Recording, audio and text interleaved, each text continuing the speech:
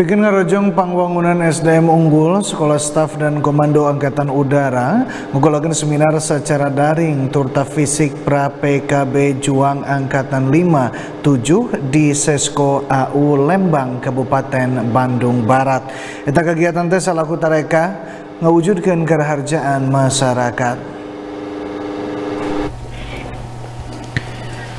Dina seminar teh Sesko AU ngulem sajumlah yang panyatur nyata Sekjen Kemenhan RI Marsyida TNI Doni Ermawan Profesor Muradi Direktur Program Kasca Sarjana Ilmu Politik Direktur Eksekutif Center of Intelligence and Strategic Studies Ngasiman Joyonegoro serta IPW Sekjen Kemenhan RI Marsekal Madya TNI Doni Ermawan nandeskeun seminar pra PKB Juang 57 di Iluan Kusakumna Angkatan turta Sespim Polri salaku wujud integrasi. Integrasi TNI Polri jeung komponen bangsa sejena bikin ngarojong program pangwangunan SDM unggul dina raraga ngawujudkeun karaharjaan masyarakat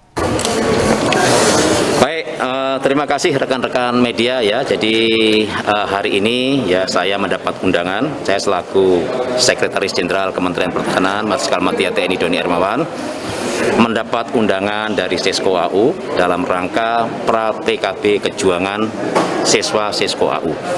Jadi ini merupakan suatu kegiatan rutin tahunan ya PKB kejuangan itu adalah bagaimana kita uh, kegiatan terintegrasi dari Sesko AU, Sesko AD, Sesko AL, dan uh, Sespim uh, Polisi. Ya.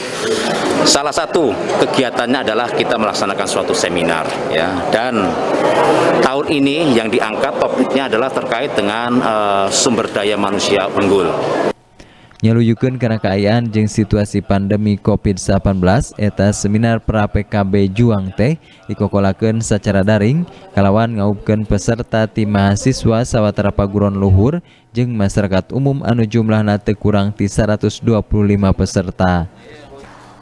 Algi Muhammad Gifari Bandung TV